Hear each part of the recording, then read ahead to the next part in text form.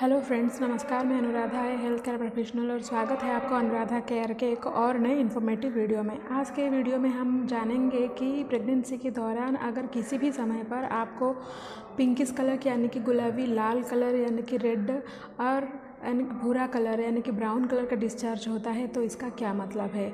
कब आपको सावधानी बरतनी चाहिए और कब आपको डॉक्टर के पास जाना चाहिए? तो वीडियो बहुत ही नॉलेजेबल है और इन्फॉर्मेटिव है, इसीलिए लास्ट तक ज़रूर देखिएगा। अगर अभी तक आपने अनुराधा केयर चैनल को सब्सक्राइब नहीं किया है या फिर अनुराधा केयर चैनल में नए हैं तो चैनल को ज़रूर सब्सक्राइब कीजिए और साथ ही साथ बेल आइकन को भी हिट कीजिए, ताकि इसी तरह का इन्फॉर्मेटिव वीडियो आपको आगे भी मिल सके, वो भी मुफ़्त। सो प्रेगनेंसी में बहुत सारे कारण कारणों के वजह से ब्लीडिंग हो सकता है, जिसका कलर पिंक भी हो सकता है रेड भी हो सकता है और ब्राउन यानी कि भूरा रंग भी हो सकता है। तो कौन सा कलर का क्या मतलब है और कब आपको सतर्क रहना चाहिए, कब आपको डॉक्टर के पास जाना चाहिए, इस वीडियो में हम डिटेल से बात करेंगे। पहले मैं बात करती हूँ प्रेगनेंसी का जो फ़र्स्ट ट्राई सेमेस्टर यानी कि पहले तिमाही में। पहले तिमाही में ब्लीडिंग होता है, बहुत सारे महिलाओं को ब्लीडिंग होता है।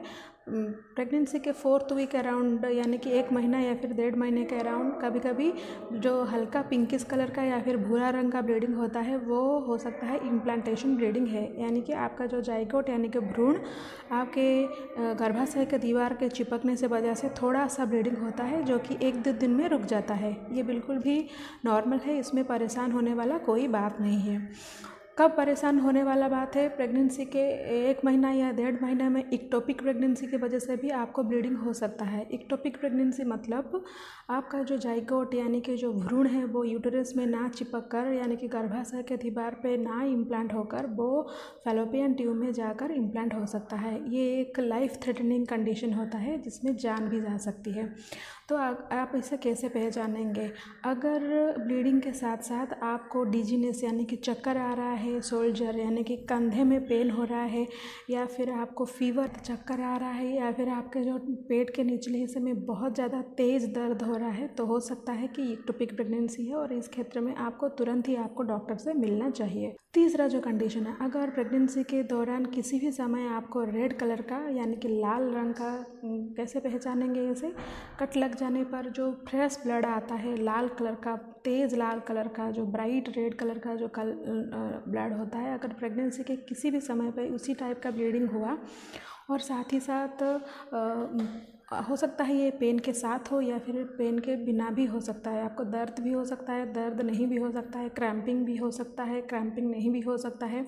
लेकिन इसके साथ साथ अगर आपको बहुत ज़्यादा फ्लूइड आ रहा है या फिर एब्डोमिनल यानी कि पेट के निचले हिस्से में थोड़ा पेन हो रहा है तो इस ये मिसकैरेज का भी संकेत हो सकता है। तो इस इस क्षेत्र में आपको बिना देरी किए अपने गायनोकोलॉजिस्ट से एक बार मिलना चाहिए। कभी कभी क्या होता है ना आपका जो सर्विक्स यानी कि जो वाजाइना के ऊपर वाले हिस्से और गर्भाशय का जो नीचे वाला हिस्सा होता है जिसको कि हम सर्वाइक्स बोलते हैं उसके इन्फेक्शन के चलते भी आ, वो बहुत सॉफ्ट हो जाता है और साथ ही साथ अगर इस दौरान आप फ़िज़िकल रिलेशन रखो तो ब्लड वेन यानी कि जो सीरा प्रशिरा होता है वहाँ पर वो फट जाकर भी ब्लीडिंग हो सकता है। ये नॉर्मल चीज़ होता है इसमें परेशान होने वाला बात नहीं है। और एक कंडीशन होता है जहाँ पर कि आपका प्रेगनेंसी में ब्लीडिंग या फिर आ, आ, कुछ डिस्चार्ज हो सकता है वो है नवे महीने यानी कि नाइन्थ मंथ में थर्टी सिक्स वीक से लेकर फोर्टी वीक है।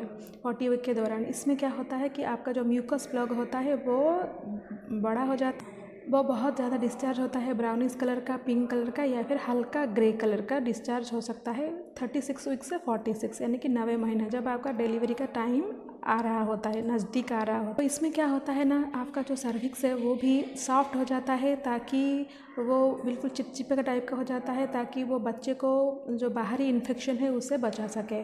जो बाहर बैक्टीरिया होता है या फिर जीवाणु होते हैं, वो बैक्टीरिया गर्भाशय के अंदर ना घुस सके, इसीलिए गर्भाशय बाई नेचर गर्भाशय अपने आप को ऐसे ही तैयार करता और एक कंडीशन होता है कि प्रेगनेंसी में ब्लीडिंग होता है, वो है अगर आपका प्लासेंटा ठीक से डेवलप नहीं हो रहा है और डेवलप नहीं हो पाता है तो इस क्षेत्र में भी थोड़ा सा ब्लीडिंग हो सकता है। देखिए दोस्तों, पहला जो तिमाही यानी कि फ़र्स्ट ट्राई सेमेस्टर में थोड़ा बहुत ब्लीडिंग या फिर स्पॉटिंग बहुत कॉमन होता है, लेकिन अगर जो स्पॉटिंग का कलर रेड कलर का होता है, साथ ही साथ आपको बहुत पेन होता है शोल्जर में यानी कि कंधे में पेन होता है लोअर बैक पेन पीठ में दर्द हो रहा है या फिर पेट में बहुत ज़्यादा दर्द हो रहा है, उसके साथ साथ आपको चक्कर आ रहा है या फिर उसके साथ साथ आपको फीवर भी आ रहा है, तेज़ बुखार आ रहा है तो इस क्षेत्र में और इस कंडीशन में इस ब्लीडिंग को आप बिल्कुल भी नेगलेक्ट मत कीजिए। और अनदेखा ना कीजिए। इस दौरान आपको अपने डॉक्टर से एक बार ज़रूर मिलना चाहिए, क्योंकि ये हो हो सकता है कि ये साधारण ब्लीडिंग ना हो। तो कैसा लगा है आपको वीडियो? ज़रूर बताइएगा। और एक नई इन्फॉर्मेटिव वीडियो के साथ फिर मिलती हूँ। तब तक के लिए stay healthy and stay happy